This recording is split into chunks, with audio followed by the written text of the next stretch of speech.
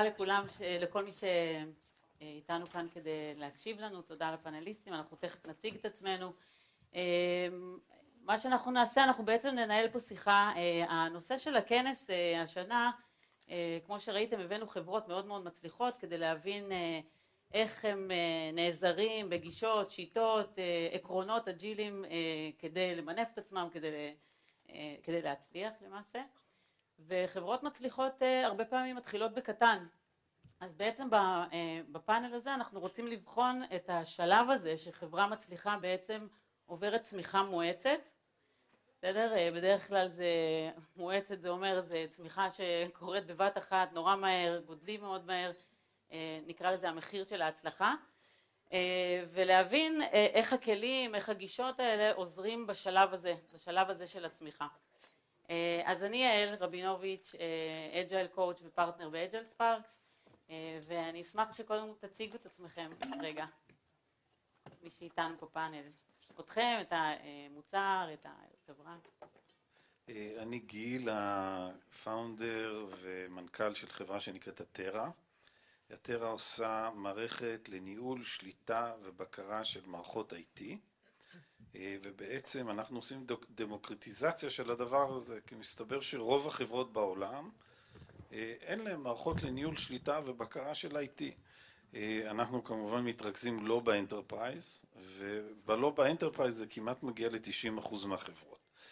המערכת שלנו יש לה את התכונות הבאות, אחד, היא יודעת לחזות תקלות לפני שהן קורות ולמנוע אותן על ידי זה, שתיים, היא הוליסטית, היא כוללת ניהול רשת, טכני, ניהול אופרציה של קריאות שירות, help desk וכולי, וגם ניהול אופרטיבי, כלכלי של כל מערך IT, לפעמים זה בתוך ארגון, לפעמים זה חברות שנותנות שירותים לחברות אחרות.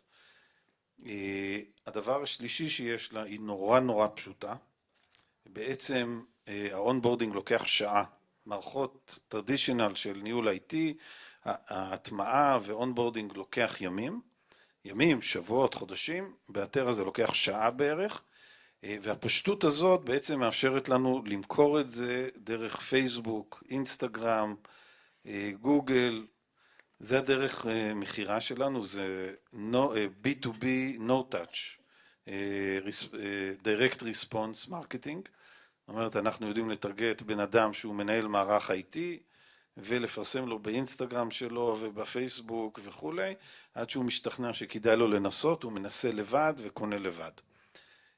לחברה יש עשרת אלפים לקוחות ב-105 מדינות בעולם, צומחים בקצב מאוד מאוד גבוה, שזה משפיע גם על הארגונים מעבר לארגונים, לחלקים העסקיים בחברה, לארגוני הפיתוח וכולי, ויש אתגרים מאוד גדולים בעסק הזה באמת. שומעים? היי, אז אני ליאת סוקולוב, אני הובלתי כסמנכ"לית מוצר את צוותי המוצר וה-UX בחברת סטארט-אפ בשם מודל 9.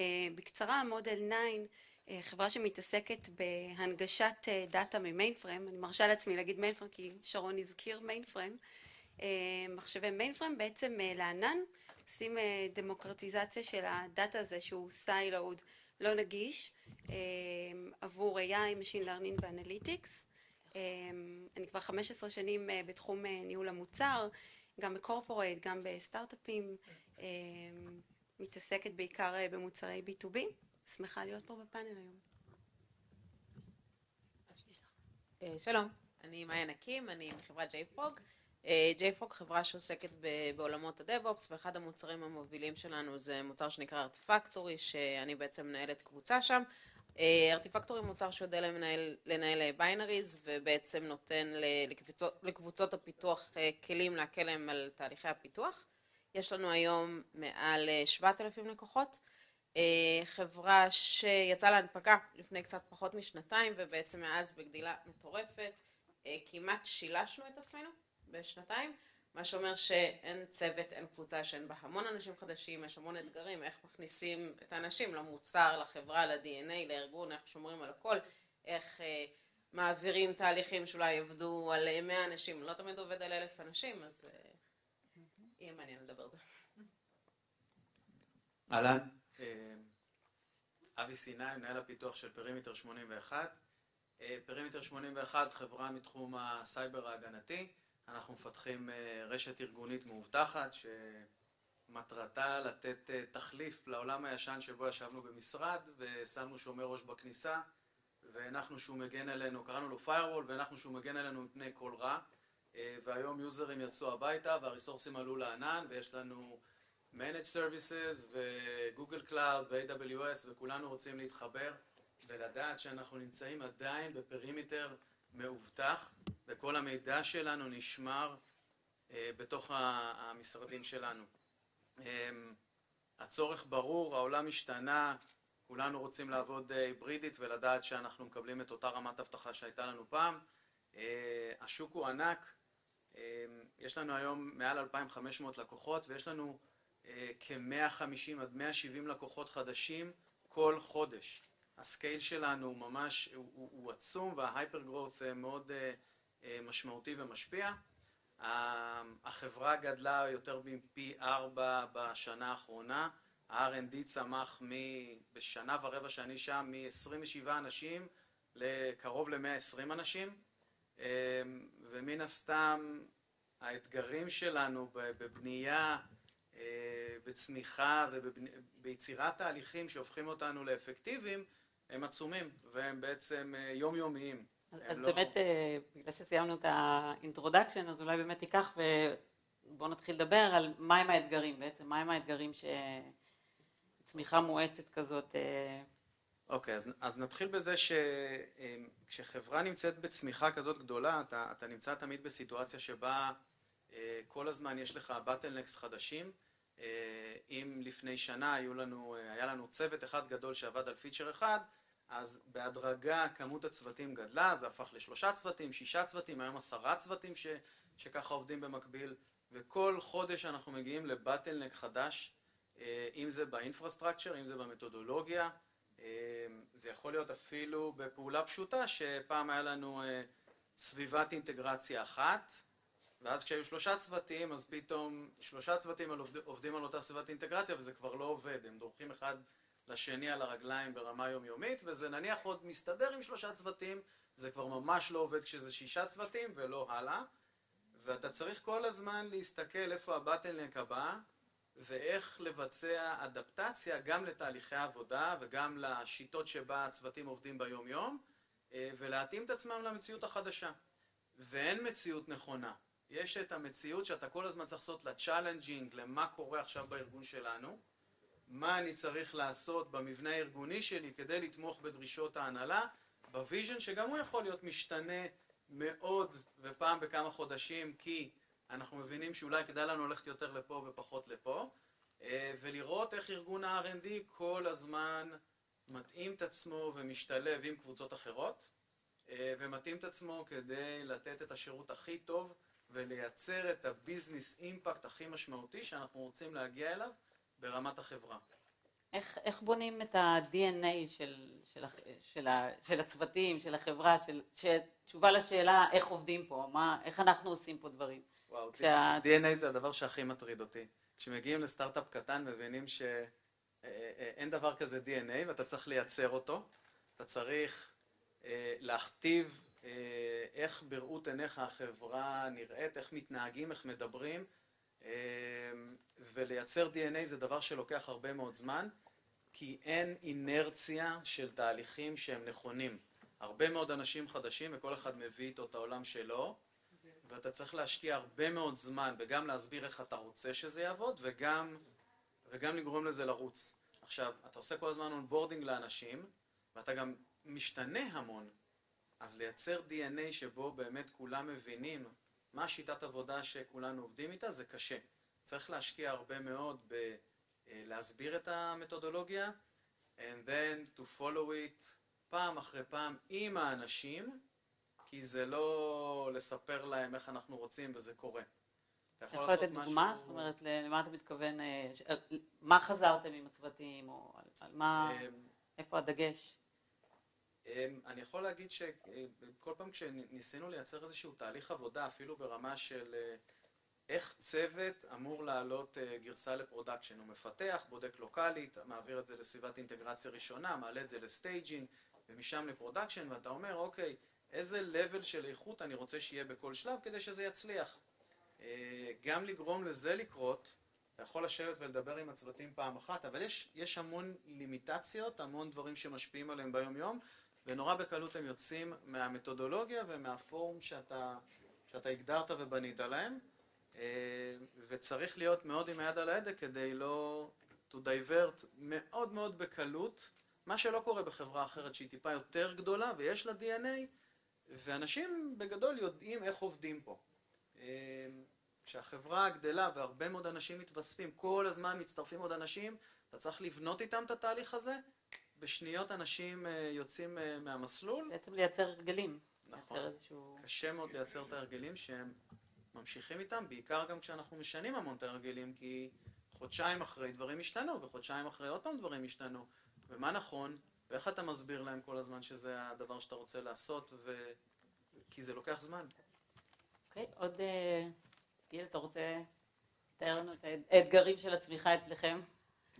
כן, קודם כל, אז ההיבט שלי הוא אחר, עסקי יותר. אני לא מנהל את הפיתוח בטרה. אז אני אתן לכם איזה תיאור קטן על ה... בגלל שהמכירות שלנו נעשות בפייסבוק, בעצם אנחנו חיים בזירה של פייסבוק. בעצם אם בא לקוח ואומר, אני רוצה פיצ'ר, למה אין לכם פיצ'ר כזה? פתאום מאות אנשים מתחילים, יכול להיות אלפי אנשים, כן, כן, למה אין להם feature כזה? עכשיו בשבילנו Agile היה כמו קסם, כי לפני זה, כן, כן, הכל במהירות של פייסבוק ורדיט, שזה עוד יותר גרוע, כי הם אנונימיים, אז הם גם מקללים אותך בדרך, ואנחנו לא מצליחים להגיב בכלל. אז בשבילנו, קודם כל, כשנכנסנו, כשהצלחנו להטמיע Agile פעם ראשונה, זה היה כמו magic, פתאום הם עושים את זה ואנחנו מסוגלים להגיב ברמה של שבועות וזה יצר איזו שביעות רצון כזאת אצל הלקוחות וכולי. עכשיו, זה עבד נהדר עד שהתחלנו לגדול. קודם כל בענייני DNA, הטרה היא חברת bootstrapping, במקורה אז נוצר DNA, כי ב bootstrapping עוד לא אומרים לך תגדל מהר מהר, אתה גדל בקצב שאתה יכול. נוצר DNA, תרבות ארגונית, ערכים וכולי, אבל אנחנו לפני שנה גייסנו הרבה מאוד כסף, פעם ראשונה בעצם, ונכנסנו למסלול של ממש, היינו במסלול צמיחה מואצת, עוד יותר מואצת. אנחנו מכניסים מעל אלף לקוחות כל רבעון. עכשיו, הדבר הראשון שאתה רוצה לעשות, להגדיל את הפיתוח כדי לעשות יותר, ויצא בדיוק הפוך. קודם כל. זה בהיבט העסקי, מה שקרה, הוספנו עוד צוותים, עלינו משניים שלושה צוותים לגם תשעה צוותים, הכל הפסיק לעבוד, כלום לא עובד יותר. אם כבר יוצא איזה feature הוא מלא באגים, זה... אז התקשרתי פה לחבר'ה של Agile Sparks, לרוני, שהיא הקואוצ'ית שלנו, אמרתי לרוני, מצידי תעזבו הכל, שום דבר לא עובד פה יותר, ונכנסנו לתהליך שהוא מאוד דומה למה שאבי תיאר, שקודם כל נוצרו המון צווארי בקבוק, פתאום שהיו כזאת כמות של צוותים, סינכרוניזציה, באגים, אנשים לא מכירים בכלל את המערכות השונות וכולי וכולי, ואנחנו עוד בתוך זה, אנחנו מאוד השתפרנו, אבל זה אתגר מאוד מרכזי בחברה עכשיו. אומרת, בעצם אנחנו, גם הואט לנו קצת קצב הפיתוח, וגם איכותו ירדה. וזה מאוד משפיע עלינו. אנחנו עכשיו בתקופה שאנחנו בדיוק יוצאים מזה. ומה בעצם אז עוזר לצאת? זאת אומרת, מה, אם אתה יכול לתת איזושהי דוגמה לדברים ש... רוני, שלום רוני. אולי רוני תספר לנו? רוני, אין כמו רוני. אתה יכול לדבר על רוני או ש... עדיף על מה עשיתם, שכרגע אתה מרגיש שהדברים שאתם עושים, שבאמת עוזרים לכם לצאת מהמקום הזה. זה מעניין שבעצם הצמיחה, למעשה בהתחלה מייצרת האטה. האטה וירידה בקווליטי וכולי, ובאמת איך... כן, אז קודם כל עכשיו קורה, קודם כל לא הקשבנו לרוני, נתחיל בזה. אז עכשיו קורה משהו מאוד מהותי, שהוא דורש גם תשתיות, גם תהליכים וגם שינוי ממש בצורת העבודה, שכל מפתח כשהוא מפתח משהו, לוקח את זה עד ל production. ובגלל שיש לנו הרבה traffic, אז הוא מקבל חלק מה traffic, הוא בודק את זה שם, הוא מוודא אה, שזה תקין וזה עובד לפי הספק ואין באגים וכולי, ורק אז זה בעצם נפתח לכל שאר הלקוחות. זה הדבר, זה ה-accountability, זה נהיה כל כך גדול שה-accountability חייב להיות ברמת המפתח הבודד. אה, זה גם שינה את המקום של האנשי QA, נכנסו לצוותים וקרו שם הרבה מאוד דברים, אבל אולי הדבר הערכי הכי בסיסי זה הדבר הזה.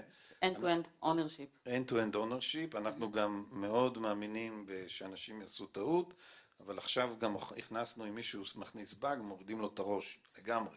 כאילו לא, אז אה, לא, אני צוחק. אה, אז כן, end-to-end ownership, שזה, כשהיה קטן, כולם היו אונרס, כולם הבינו מה קורה, כולם ידעו, עכשיו מפתח מספר 67, אה, מכניס משהו, ועשרת אלפים לקוחות, זה בלאגן אדיר אם יש שם איזה באג.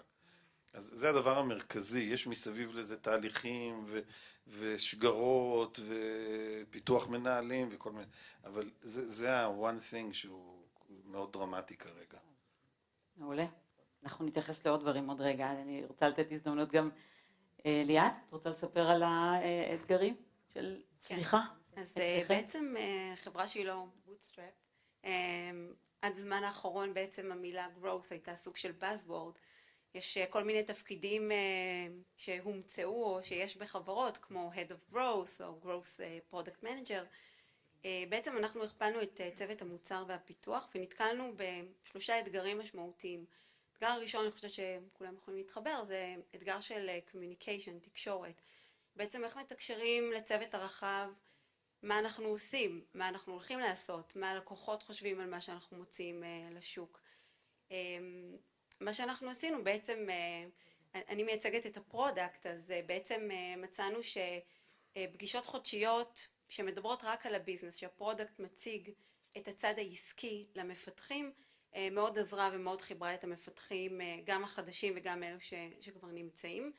אה, אנחנו השתמשנו ב Teams באיזשהו channel ייעודי לעדכונים יומיומיים, שבעצם החליפו את התקשורת הבלתי אמצעית במשרד. וכמובן כל, המתוד... כל ה ceremonies של Agile, כמו ה daily, ש product owner נוכח, sprint pre planning, planning וכו'. ש, שהאירועים האלה שאת מתארת, השגרות האלה עם הצוותים, הם בעצם המקומות שה product מתקשר, זאת אומרת, את מתייחסת כן. ספציפית להיבט הזה כן. של התקשורת. לגמרי. Mm-hmm. עוד דבר, כמובן, כשחברה צומחת, אז אה, מן הסתם רוצים לקוחות חדשים בשווקים חדשים. אנחנו נתקלנו בלקוחות גדולים יותר, הרבה יותר לקוחות, וגם ורטיקלים אה, חדשים שלא הכרנו, שבעצם הציבו בפנינו אה, דרישות מלקוחות שהם לא יהיו באזור הנוחות שלנו. ואיך להתמודד עם זה, וגם לקוחות רוצים לקבל את, ה, את הערך מאוד מאוד מהר. אה, אנחנו הקמנו צוות אה, POC ייעודי, הקמנו תשתית בעצם, שעזרה לנו להוציא פתרון רזה, אה, ולקבל כמה שיותר מהר את הפידבק מהלקוחות. ומאוד חשוב, כבר נאמר כאן בעצם על הנושא של תרבות ארגונית, ובעצם איך שומרים את המורל של הצוות. עוד פעם, זה סוג של שינוי, שפתאום יש המון אנשים חדשים, אז בעצם איפה המקום שלי בצוות, אה, אני כבר לא, אה, אין לי את הקשר הבלתי אמצעי ללקוחות, אני לא מכיר את כל הלקוחות, אה, איך עושים את הדברים האלה. בעצם אנחנו עברנו לעבוד במודל של סקוואדס, שמצד אחד נתן המון אוטונומיה ויכולת ניהול עצמאית לצוותים, ומי שהביא את הצוותים בעצם המפתחים הוותיקים שיכולו לתת ביטוי לניסיון שלהם ולמומחיות שהם צברו. מאיה, את רוצה לספר לנו על האתגרים אצלכם בצוותים? אה, כן, אז אמ, אחד האתגרים בעצם בדרך כלל הולכים, מגדילים את צוותי הפיתוח, יופי. עכשיו יש מלא מלא אנשים חדשים שלא יודעים מה הם עושים, מה ה business, איך עובדים, איך עושים את זה, ובעצם ה Agile מעצם הגדרתו נותן את ה... אה, את המבנה המאוד מאוד מסודר הזה. אז יש לי daily כל יום, אני נמצאת כל יום עם הצוות, מבינה על מה עובדים. אז בש... ביום הראשון אני כנראה לא אבין שום דבר שהם אמרו, בשבוע השני קצת יותר, ואחרי חודשיים אני כבר נמצאת בפעילות. אני נמצאת ב planning של הצוות, אני יודעת מה כל צוות עובד. זה דרך נהדרת להכניס אנשים. כשעובדים במודלים שהם, אה, שהם פחות אג'ילים, אמ, בן אדם בדרך כלל הוא, הוא קצת בודד, וכשאתה עובד במסגרת של ה Agile ושל ה scrum team, אז יש לך את השכבת הגנה הזאת, את המעטפת, זה לא שאתה מפתח משהו לבד, יש לך את הצוות מאחוריך. אמ, עושים planning, באים לתכנן את זה, אתה שומע את כל האנשים בצוות שכן מכירים את הנושאים ויכולים להגיד לך איך לעשות את זה, איך לבדוק את זה, אמ, אתה מציג את זה לצוות אחר כך, עושה דמו, אתה מקבל את הפידבק חזרה, כך שבסוף זה נותן לך איזושהי מערכת הגנה נהדרת. אה, ומאוד מאוד מקל על הכניסה של אנשים. אה, האספקט השני, ג'יי אה, פוג, הצהרות של השירים, הרבה מאוד לקוחות, חווינו צמיחה מאוד מאוד גדולה. יש הרבה מאוד לקוחות, מגיעות הרבה מאוד דרישות. כשזו חברה מאוד קטנה, יודעים לנהל את זה, בסדר, כל אחד לוקח את זה, וככל שהארגון גדל, איך פתאום מתמודדים עם מסה מאוד גדולה של requirements. באג'ל בסופו של יום מכריח אותנו לעשות פריורטיזציה, שאני חושבת שזה אחד הדברים הכי קשים באג'ל, אבל כדי לעשות פריורטיזציה נכון, אתה באמת צריך להבין מה הדברים הנכונים לעבוד עליהם, אמ, אם אתה צריך מטריקות, אם אתה צריך שיחות עם לקוחות, אבל זה מכריח אותך לעבוד על הדברים הנכונים, ובעצם על ידי כך לדלבר את, ה, את הדברים הכי חשובים, אז... ואת הפריורטיזציה הזאת עושים באיזה תדירות, או מה... אם את יכולה לספר קצת יותר על האתגר אז אצלנו אנחנו עובדים אה, ברמה רבעונית, בעצם יש לנו איזושהי תוכנית שנתית, כמובן שהיא תוכנית שיכולה להשתנות, כי מה שאתה יודע בינואר אה, לא תמיד תקף בנובמבר, אנחנו מסתכלים על זה ברמה רבעונית ככה שאנחנו יודעים מה הדברים הגדולים שאנחנו רוצים לעשות, אבל בתוך הצוותים אנחנו מתכננים את זה לספרינטים של שבועיים. אמ, אז אנחנו לא מבזבזים זמן על דברים שמאוד עתידיים ויכול להיות שלא, שלא נתעסק איתם, אלא אנחנו משאירים את הצוותים על העבודה הנוכחית, שאנחנו כן יודעים מה הרודמפ שלנו ואיך זה הולך להסתדר עם הדברים העתידיים. אז דיברתם אה, בצמיחה, אז אה, מתרבים הצוותים לצורך העניין, וקצת אה, ציינת על הנושא הזה של סינכרון בין צוותים. אתם יכולים קצת יותר לפרט על האתגר הספציפי הזה של סינכרון בין צוותים, איך התמודדתם איתם? אולי? אמ, אבי? אוקיי, אני אתחיל. אמ, אנחנו גילינו שאחת הבעיות שלנו זה באמת אה, הנושא של איך צוות לוקח משימה, ממשיך אותה עד הסוף, הדיפנדנסי שיש לו עם הרבה מאוד אה, צוותים, וניסינו למצוא, למצוא מענה שבו אנחנו לוקחים צוות והוא מייצר את האימפקט הכי טוב שיש לו. באנו והגדרנו, זאת המטרה שלנו. והשינוי הארגוני הראשון שראינו לעינינו זה שבעצם שלב ראשון אנחנו רוצים שכל מי שעושה איזושהי פעולה אה, יהיה מחובר ל business impact הכי משמעותי שיש ומאיפה מגיע ה business impact? ישר מה-company objectives במקום לעשות הרבה מאוד המרות בדרך לקחנו company objective, הגדרנו זה ה business impact שאנחנו רוצים לייצר ייצרנו squad ראשון שבעצם הוא בא ונותן מענה ואז גם הלכנו ל dependencies, זה קשור אה, לשאלה שלך, איך הוא מייצר את ה business impact, כמה אנשים צריכים להיות פה, מי צריך להיות פה כדי שיוכל לסיים את המשימה שלו בעצמו ובמאה אחוז. אז זה מתבטא באנשים, ב resourceים, סביבות עבודה, מתודולוגיה, כל השיטה שבה הוא עובד מרגע שהוא מתחיל לקודד ועד שהוא מעלה ל production, איך הם מצליחים להיות עצמאיים ולרוץ בדרך הכי טובה. פשוט בודדנו קבוצות שקראנו להם squadים, אה, והתחלנו לעבוד ככה שכל אחת חושבת איך היא משפיעה הכי טוב על הארגון.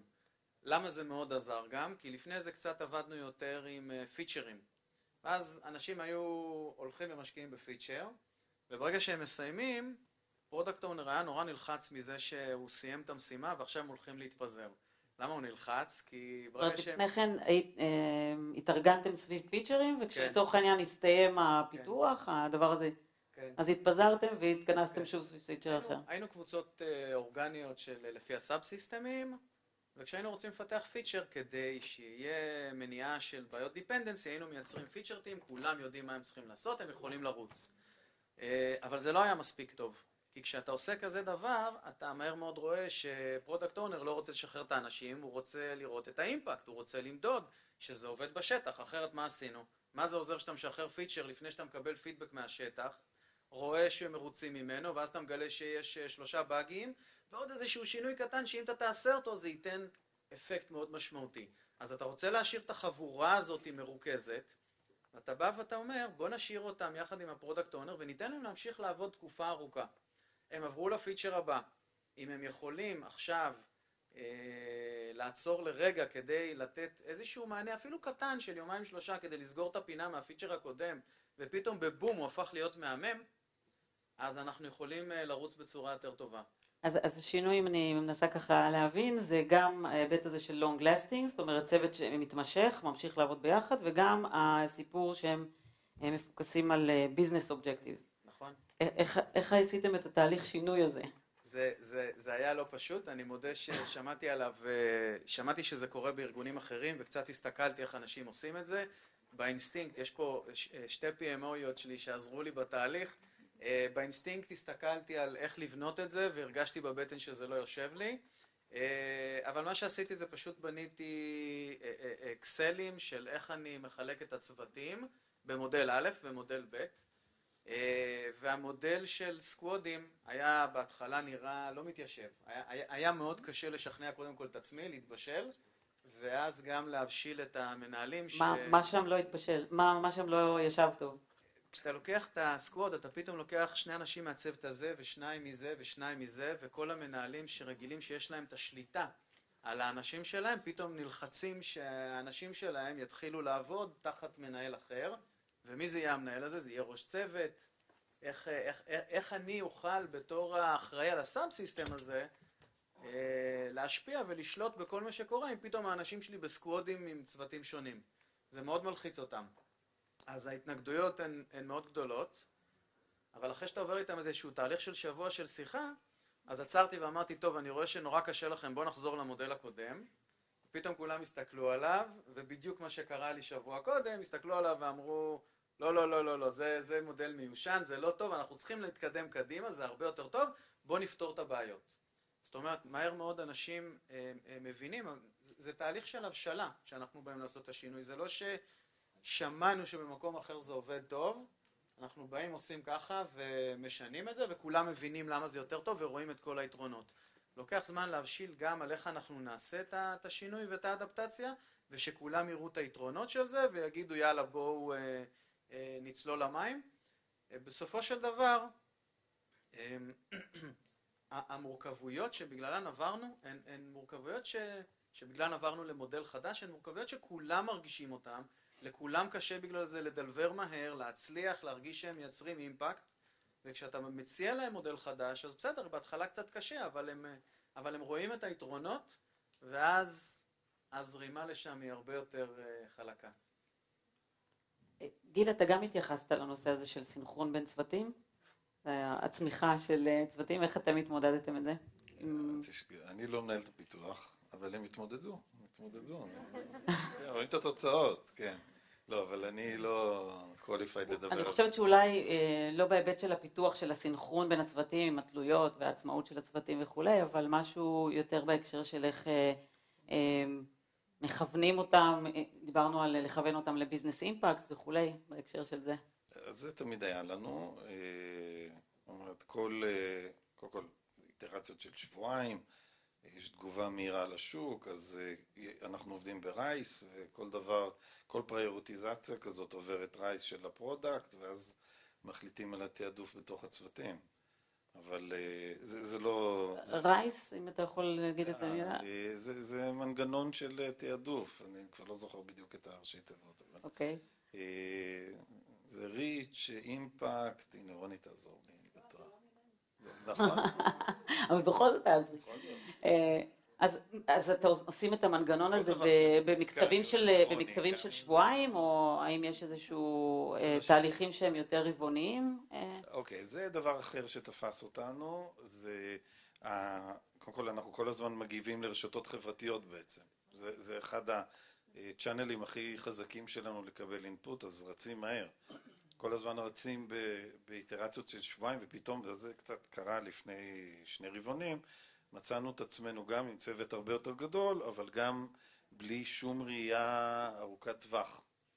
ואז הכנסנו תהליך שנקרא PI Planning, שהוא תהליך תכנון רבעוני, שעושים אותו יומיים off-site עם הצוותים של המרקטינג וה product, יחד עם ה-R&D, ובעצם בונים תוכנית רבעונית, שהיא אחרי זה נחתכת לספרינטים, ובתוך תוך הדבר, זה מאוד מורכב הקונספט, כי אתה אומר, רגע, אם זה agile, אז למה עשיתי תוכנית רבעונית? אבל זה עובד נהדר, כי אתה הרי כן רואה קדימה. אה, וזה בעצם באמת אג'ילי, זה, יש תוכנית רבעונית, יש כל שבועיים, וכל הזמן זה גם זז בתוכו. אה, זה כן איזה משהו. זה יצר סינכרון גם בתוך ה-R&D וגם בין ה-R&D למחלקות האחרות, שהם פתאום יודעים גם מה, מה צפוי להגיע. גם המרקטינג יודע, customer success וכולי. אז איזה עוד אה, בעצם אולי כלים או תפיסות אג'יליות ליאת? אולי אם את רוצה להתייחס, אה, אה, עוזרות אצלכם בתהליך של הצמיחה. אמ, האמת היא שאני הייתי שמחה להתייחס אה, דווקא לאיך agile בעצם עוזרים ליצור customer satisfaction גדול יותר, אפשר? בטח. אמ, אז אני חושבת שאג'ל מתכתב מאוד מאוד טוב עם התמה של customer obsession משתי סיבות עיקריות. אחד, היעד הנכסף הוא Continuous Delivery למוצרים שנותנים ערך ועל ידי זה שעובדים באיטרציות קצרות מקבלים פידבק כמה שיותר מוקדם בעצם אפשר להשיג את, ה, את, ה, את היעד הזה אמ, ודבר שני זה הנושא של דרישות אה, משתנות מלקוחות. אג'ל מגיב מאוד מאוד טוב לדרישות אה, משתנות מלקוחות. אני חושבת שאין פה אחד שלא סך הכל אנחנו עובדים עם לקוחות אה, שנתקל ב... דרישות שמאתגרות את הרודמפ שעבדנו עליו אה, כל כך הרבה ואפילו התוכנית, תוכנית של הפיתוח. אמ, ובעצם ברגע שאנחנו אה, אה, מבינים את השינוי אנחנו יכולים כבר באיטרציה הבאה להשפיע ולעשות את השינוי הזה. במהלך של צמיחה, כשהארגון הוא קטן, אז כמעט לכל אחד לצורך העניין יש איזשהו קשר ישיר, יכול להיות לו איזשהו קשר ישיר עם לקוחות, אבל באמת עם צמיחה לצורך העניין יש איזושהי תחושה שהצוותים מתרחקים קצת מהלקוחות, מבינים אותם פחות טוב וכולי. אז איזה, איזה כלים יש לך אה, בעצם, אה, הכלים האג'ילים? נכון, אז, אה, אז בעצם ה agile... לחבר חזרה ללקוחות. כן, אז בעצם ה agile עצמו, אחד הנושאים המרכזיים זה בעצם user-centric approach. זאת אומרת, כל דבר שעושים, לא קשור אם זה בצוותי המוצר או בצוותי הפיתוח, צריך לחשוב על ה user. אמ, וזה משהו שהוא, אמ, העקרונות האלו הם מאוד מאוד תואמים גם אה, גישה, קונספט חדש ישן של PLG שזה Product Led Growth, אני לא יודעת אם אה, שמעו פה על הקונספט הזה, אבל אה, זה בעצם אומר בקצרה שזה מודל צמיחה שמתמקד במשתמש ובעצם במוצר עצמו ובערך שהוא נותן והוא זה שגורם בעצם ל-customer acquisition, ל-conversion ול-expansion בעצם של המוצר. ואני חושבת שאפשר לזהות פה בעצם את, ה, את הקווים המשיקים. ה-user centric approach הוא, הוא לגמרי עובר כאן כחוט השני. איך בעצם... זה בא לידי ביטוי בפועל, בעבודה עם ה product, עם הצוותים, איך, איך הגישה הזאת של ה-user centric? אז לפחות אצלנו המפתחים מאוד מבינים את, ה, את המשתמש עצמו.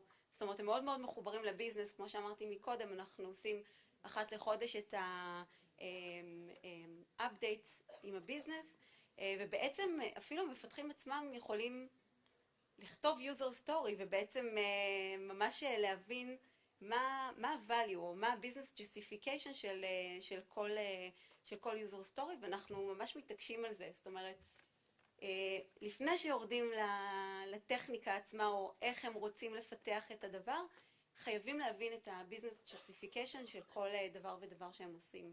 אה, בשיחות קודמות שלנו את ציינת משהו שקשור בפרסונה, יש לנו עוד דקה?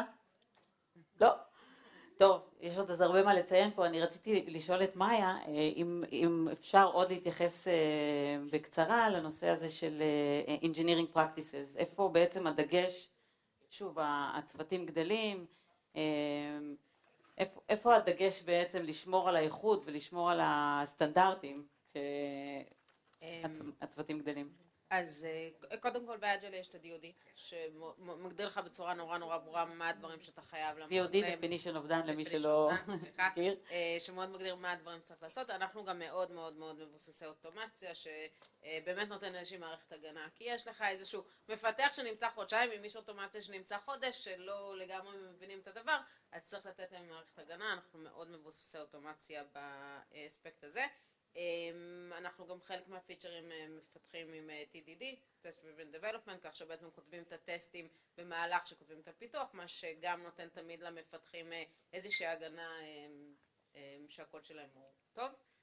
אמ. כשאנחנו דיברנו גם כן בשיחות הכנה, דיברנו קצת על הנושא של קוד ריוויוז. אחת, אחת הבעיות באמת שצומחים, שיש לך כמה אקספרטים כאלה שיודעים הכל, ואנשים, קשה להפיץ את הידע וכולי, אם את יכולה להתייחס לנושא הזה של נכון, reviews. אה, לנו יש גם מוצר שהוא מאוד מאוד מסובך, אה, לוקח הרבה זמן עד שאתה ככה approved אה, to be a code owner, אה, ורצינו לראות איך אנחנו קצת פותחים את זה לצוותים. בעצם כל בן אדם שיש לו PR שולח את זה ב Slack של הצוות. אז יכול להיות שאולי רק ה scrum master או ה tech lead הוא הבן אדם שמאשר את זה, אבל, אבל בעצם אנחנו חושפים את זה כולם. אה, קודם כל, המון אנשים יכולים להגיב על זה, אז אתה יכול לקבל פידבק אה, לפני שהבן אדם הסופי יסתכל על זה.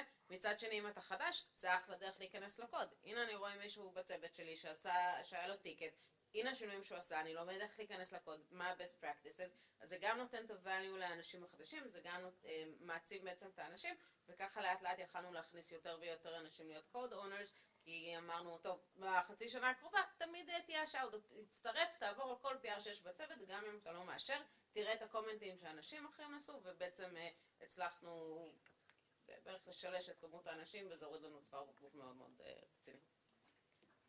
תודה. אז קודם כל, כן, יש לנו עוד המון המון דברים לשתף אתכם, אבל זמננו תם, אז הייתי רוצה לסכם.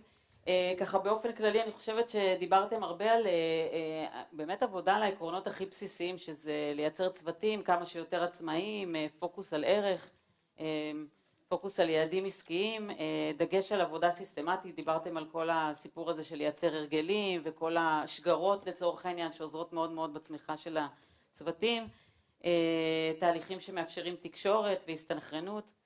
אז זה ככה על רגל אחת סיכום של יש עצומים עוד שאתם הרבה- עוברים. יש מה? עוד הרבה מה לדבר על זה, כי זה מעניין, זה הטמעות. ו- כן, כן, אז- המון המון תודה. מי שרוצה- המון